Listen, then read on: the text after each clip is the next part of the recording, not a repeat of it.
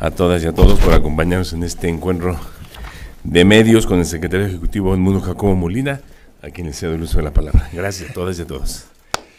Muchas gracias, Rubén. Disculpen poco la tardanza, estamos atendiendo mil, mil cosas y pendientes eh, que hay que continuar en la, en la institución, lo cual me retrasó un poco.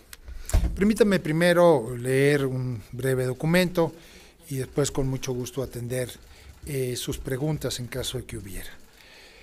Muy buenas tardes, compañeras y compañeros representantes de los distintos medios de comunicación que cubren las actividades del INE. Estoy aquí para anunciar y explicar de manera muy puntual las razones por las cuales he presentado al consejero presidente mi renuncia al cargo de secretario ejecutivo del Instituto Nacional Electoral con efectos a partir del próximo 3 de abril. Tuve el honor de ser propuesto y designado para ocupar la Secretaría Ejecutiva, primero en el Instituto Federal Electoral y después en el Instituto Nacional Electoral. He tenido el privilegio de trabajar directamente con dos presidentes, Leonardo Valdés Zurita y Lorenzo Córdoba Vianelo, y con múltiples integraciones del Consejo General y de la Junta General Ejecutiva, integraciones plurales y profesionales que han hecho honor a su responsabilidad de Estado y no se trata de un mero dicho, los resultados están a la vista. Una de las grandes virtudes del modelo de autoridad electoral definido por la Constitución General de la República desde las primeras reformas electorales en los años 90 es su organización administrativa, en la medida en que ha logrado incorporar una virtuosa división funcional del trabajo entre los distintos órganos e instancias integrantes del INE. Como es bien sabido, el Instituto Nacional Electoral debe ser independiente en sus decisiones y funcionamiento, así como profesional en su desempeño. Para lograr estos objetivos institucionales de gran relevancia, entre otras medidas, la Constitución dispone que el INE debe contar en su estructura con, con órganos de dirección, ejecutivos, técnicos y de vigilancia. La previsión de instancias con funciones propias y definidas no es una exquisitez burocrática, sino que promueve la asignación de roles que alimentándose recíprocamente permite la definición oportuna de las metas y prioridades institucionales, la planeación detallada de las actividades y la confección de acuerdos técnicamente solventes para encarar y solventar las dificultades que suelen presentarse a lo largo y ancho del país. Esta separación de actividades es clave porque permite una continua revisión y examen del trabajo electoral. El Consejo General planea y dirige a partir de los insumos que le proporcionan las áreas especializadas. Las ramas ejecutivas y técnicas ejecutan y operan las decisiones tomadas y son evaluadas permanentemente por las distintas instancias directivas, además de ser vigiladas en todo momento por las representaciones de los partidos políticos. El equilibrio entre estas, eh, entre todas estas actividades es indispensable para la continuidad de las operaciones conforme los principios que rigen en la materia. Bajo esas premisas, desde que asumí el cargo, diseñé una Secretaría Ejecutiva discreta, con bajo protagonismo público, para aislar la operación institucional del trajín propio de las contiendas entre las distintas fuerzas partidistas. En fin, para evitar la politización de las actividades técnicas y ejecutivas del instituto, que por definición y de acuerdo con la organización administrativa establecida por la Constitución, deben atender a criterios estrictamente técnicos. Desafortunadamente, el diseño institucional que procuramos durante tantos años, así como el equilibrio que con el mismo siempre se ejecutó, fue roto en los últimos meses por algunos actores políticos que en el más reciente debate sobre la reforma electoral hicieron de la operación técnica necesariamente imparcial parte del debate político lo que me obligó a salir a la defensa pública de las instituciones electorales que nos hemos dado, a explicar las virtudes que ofrece el régimen vigente y a alertar sobre los peligros que implican varios de los aspectos incorporados por el, el denominado Plan B. La incorporación en uno de los decretos de la reforma de un transitorio inconstitucional que tomaba una decisión que solo compete al Consejo General, me cesó como secretario ejecutivo, incluso aún antes de que formalmente entrara en vigor el nuevo marco legal.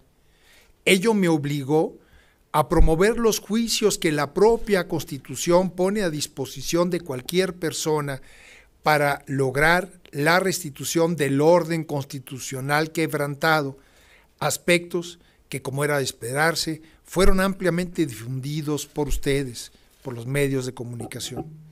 Después iniciaron los ataques y mentiras sobre mí y mi trayectoria, incluso desde las conferencias cotidianas que desde Palacio Nacional encabeza el presidente de la República.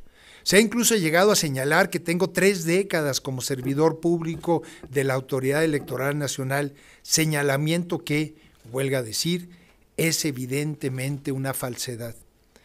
Los reflectores regresarían con motivo de las sentencias emitidas por la jurisdicción de amparo y por la electoral, que en primer lugar suspendieron los efectos del transitorio carente de sustento constitucional y después declararon la inaplicabilidad de la medida privativa por ser incompatible con los derechos humanos reconocidos por el ordenamiento y con la división de poderes delineada por la Carta Magna.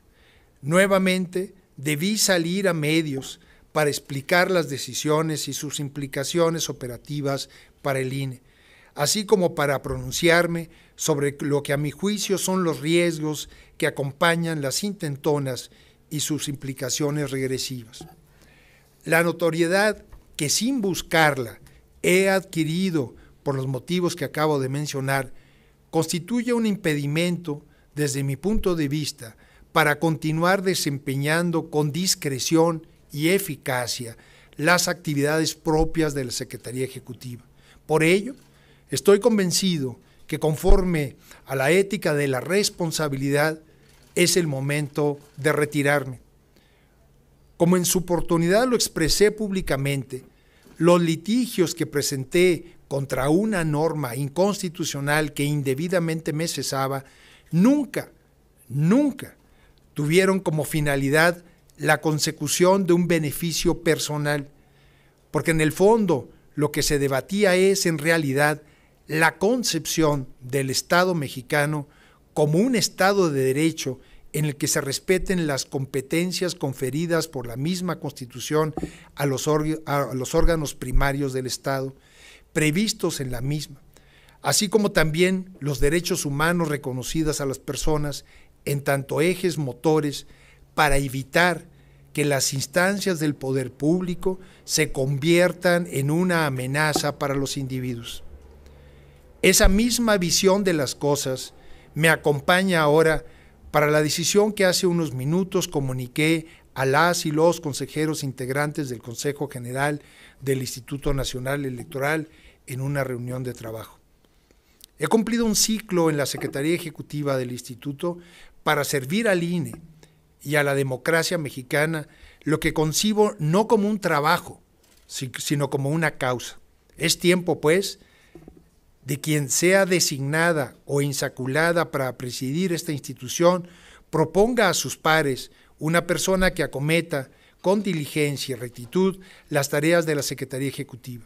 En este sentido, he presentado mi renuncia, la cual se hará efectiva para que mi último día como funcionario de esta institución sea el próximo lunes 3 de abril. Esta renuncia es de carácter irrevocable porque no me anima el preservarme en una posición laboral, sino la defensa de la ley y las instituciones. Como secretario ejecutivo, esa fue mi convicción y esa seguirá siendo como ciudadano, que como a millones de mexicanas y mexicanos le preocupa la democracia de mi país. A diferencia de quienes tildaron mi actitud como la de alguien que busca seguir ocupando un cargo, mi compromiso con el INE es defender un patrimonio que hemos construido entre todas y todos durante más de tres décadas y hoy es patrimonio de la sociedad toda. En mi instancia en esta institución he velado por su autonomía e imparcialidad. Continuaré con esa actitud en otros espacios. La democracia se soporta en el respeto a la ley y a las instituciones, así como en mujeres y hombres libres dispuestos a defenderla. En las instancias correspondientes demostré que tenía razón y con eso me basta. A las y los consejeros electorales y a la sociedad que me ha acompañado en este trayecto, les digo gracias. Y con mi renuncia respondo a las y los mexicanos que me han respaldado que estoy con ustedes, que soy uno más entre millones dispuesto a defender la democracia y la construcción de una sociedad más justa y equitativa.